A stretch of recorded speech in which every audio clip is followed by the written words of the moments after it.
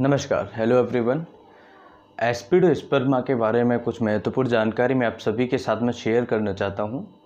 मैं doctor Lokendra D P H B H M S homeopathic चिकित्सक हूँ और सोशल मीडिया पर अभी फ़िलहाल में काफ़ी सारी ऐसे न्यूज़ सर्कुलेट हो रही है एस्पिडो स्पर्मा के बारे में, जो आप सभी के लिए काफ़ी सारी प्रॉब्लम्स भी क्रिएट कर सकती है।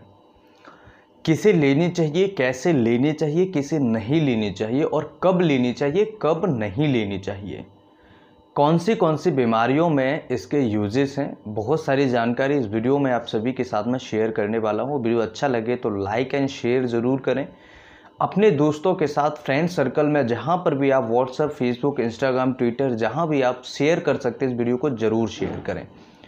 एस्पिडो स्पर्मा ये सच है कि ये जो मेडिसिन है, ये ऑक्सीजन को बढ़ाता है। लेकिन किन पेशेंट्स को ये लेना चाहिए, इसका थोड़ा सा हमें ध्यान रखना होगा। सबसे पहले ये समझ लेते हैं कि ये कौन से कौन सी कंडीशंस में इसके यूजेस होते हैं और कब इसे हमें यूज़ करना चाहिए। ये महामारी जो अभी, वैश्विक महामारी इस कंडीशन में हमारे लिए कोई भी मेडिसिन एक रामबाण है। लेकिन उसके साथ में हमें ये सारी चीज़ें भी ध्यान रखनी होंगी कि कहीं ऐसा तो नहीं कि हम उस मेडिसिन के चक्कर में किसी पेशेंट का नुकसान कर बैठे। ऐसा भी नहीं होना चाहिए। देखिए, ये जो वैश्विक महामारी है, महामारी जो चल रही है, ये सभी को अफेक्ट कर रही है। चाहे वो किसी भी वर्ग का व्यक्ति हो। ना तो ये पैसे वाले को देख रही है, ना ये छोटे गरीब को देख रही है, ना मिडिल क्लास को देख रही है, सबके लिए बराबर है।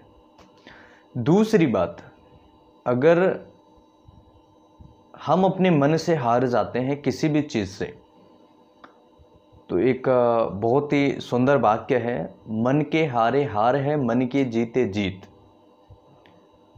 बहुत सुंदर वाक्य है, जिसने भी बनाया है, जिसने भी लिखा है, बहुत अच्छी चीज़ एक दुनिया को मैसेज है, मन से कभी नहीं हारना है हमें।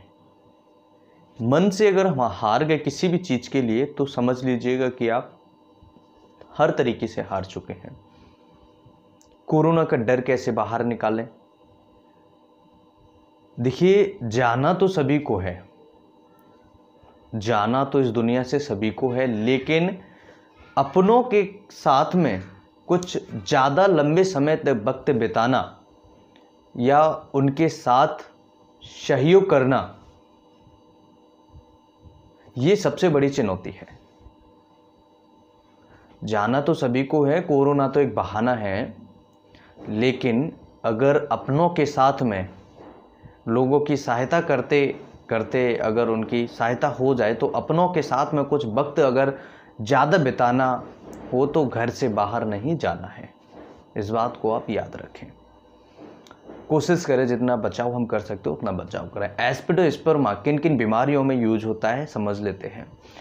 देखिए एस्पिडो स्पर्मा करता क्या है? और इसका मदर टिंचर यूज़ हमें करना है। तो इसके यूजेस जो हैं एस्पिडो स्पर्मा के, ये लंग्स के अंदर स्पेशली अगर बात करें कि जो रेस्पिरेटरी सेंटर्स हैं, जो हमारे ब्रेन में होते हैं, उनको एक्टिवेट करता है। अगर ऑक्सीडेशन स्लो है ऑक्सीडेशन कम है ऑक्सीडेशन में कोई ऑबस्ट्रक्शन है। तो ऐसी सिचुएशन में उस ऑबस्ट्रक्शन को हटाता है रेस्पिरेटरी सेंटर के एक्टिवेट करने के द्वारा, उनकी सहायता करने के द्वारा। तो रेस्पिरेटरी सेंटर्स को ये एक्टिवेट करता है देन उसके बाद में जो वहाँ पर ऑबस्ट्रिक्शन है, उसको धीरे धीरे हटा देता है। Cardiac asthma. कार्डियक अस्थमा होता है, जिनको हार्ट की प्रॉब्लम होती है कई बार पेशेंट्स को, कई बार पेशेंट को लिवर की प्रॉब्लम्स होती हैं और सिम्टम्स उसको अस्थमा के आते हैं। तो ऐसे सिचुएशन में भी उस पेशेंट को बहुत ही अच्छी और उपयोगी मेडिसिन है। यूरेमिक अस्थमा मतलब कि यूरिया बढ़ने की वजह से, जिन पेशेंट्स को यूरिया बढ़ जाता है, उन पेशेंट्स को अगर एस्पिडोस्पर्मा मदर टिंचर फॉर्म में या 200 पोटेंशियम में दिया जाता है तो बहुत ही कमाल के रिजल्ट्स उस पेशेंट्स में हमें देखने को मिलते हैं। इसके अलावा, जिन पेशेंट्स को रेस्पिरेटरी पैरालिसिस होता है, यानी उनके लंग्स जो हैं, वो धीरे धीरे काम करना बंद कर देते, कम करते चले जाते हैं, या जो रेस्पिरेटरी सिस्टम है, वो धीरे धीरे काम करना कम करता चला जाता है तो ऐसे सिचुएशन में भी बहुत अच्छे उपयोग है। अगर पर्मनरी स्टेनेसिस है तो ऐसी सिचुएशन में भी इसके बहुत अच्छे उपयोग हैं। थ्रोम्बोसिस अगर किसी पेशेंट को है पल्मोनरी थ्रोम्बोसिस है तो ऐसे सिचुएशन में भी इस पेशेंट के लिए बहुत ही उपयोगी मेडिसिन है।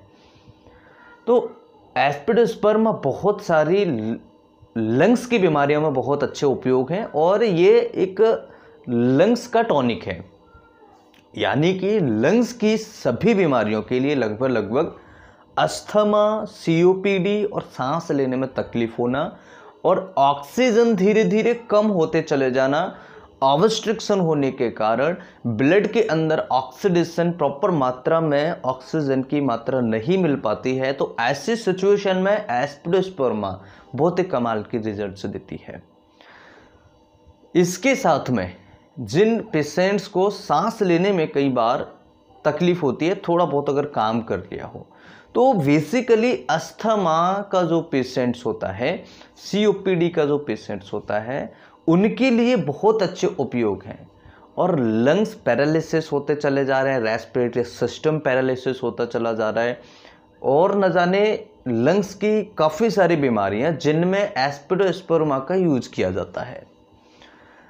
इसके साथ में कुछ और भी महत्वपूर्ण चीज़ समझिएगा कि देखिए, होम्योपैथी में कोई भी मेडिसिन या कोई भी मेडिसिनल सिस्टम की अगर हम बात करें विदाउट डॉक्टर कंसल्टेशन के मेडिसिन का यूज़ नहीं करें।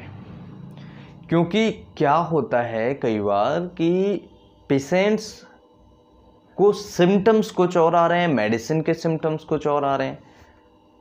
तो याद रखें कि पेशेंट्स को मेडिसिनल जो सिस्टम है according to different medical system homeopathy में अलग हो गया, आयुर्वेदा में अलग हो गया और आपका एलोपैथी में अलग हो गया। तो तीनों मेडिसिनल सिस्टम जो हैं थोड़ा थोड़ा अंतर है।